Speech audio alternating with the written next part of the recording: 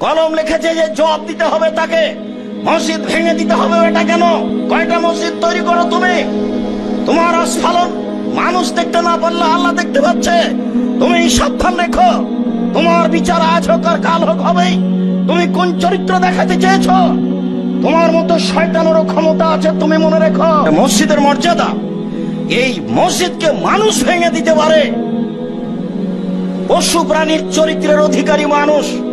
হিংস্র প্রাণীর চরিত্রের অধিকারী মানুষ, হায়ানার চরিত্রের অধিকারী মানুষ মানুষ মানুষের মসজিদ ভেঙে দিতে পারে। কত ন্যাক্কারজনক নোংরা, বর্বর চরিত্র হয়ে কাজ করতে পারে। সকল মানুষের ফতো মশলা একরকম নাও হতে পারে। হাজারো লক্ষ নোংরা, ন্যাক্কারজনক ফতোয়া দিয়ে ফেকার বইগুলি পরিপূর্ণ করা আছে। তলিয়ে দেখার প্রয়োজন মনে করা হয় না।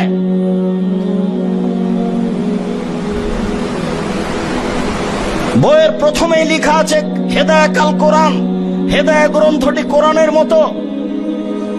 প্রথমেই লেখা আছে, আমার উম্মতে একজন মানুষ জন্ম নিবে, সে হবে বাতির মতো উজ্জ্বল, তার নামে ইমাম আবু হানিফা। আমার উম্মতে একজন মানুষ জন্ম নিবে, সবচেয়ে নিকৃষ্ট, তার নামে ইমাম শাফি। এ ধরনের ন্যাক্কারজনক, নোংরা কথা, বইয়ে লেখা থাকে, তবুও কিছু বলা প্রয়োজন মনে কলম লিখেছে যে জবাব দিতে হবে তাকে মসজিদ ভেঙে দিতে হবে এটা কেন? কয়টা মসজিদ তৈরি করো তুমি? তোমার আস্ফালন মানুষ দেখতে না পারলে আল্লাহ দেখতে পাচ্ছে। তুমি সাবধান রেখো। তোমার বিচার আজ হোক আর কাল হোক হবেই। তুমি কোন চরিত্র দেখাতে চেয়েছো?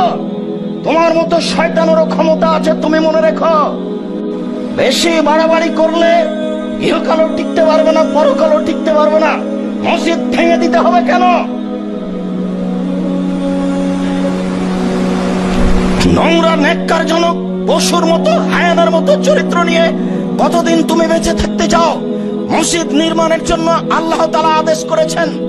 মসজিদ নির্মাণের জন্য মোহাম্মদ সাল্লাহ আলি সাল্লাম আদেশ করেছেন এবং মসজিদের মর্যাদা এভাবে রাসূল সাল্লাহ আলি সাল্লাম বলেছেন। তিনি বলেন আহাবুল বেলাদ আল্লাহ মাসাজে দোহা পৃথিবীতে সবচেয়ে উত্তম জায়গা, উত্তম শহর, উত্তম অবস্থানের জায়গা হচ্ছে মসজিদ।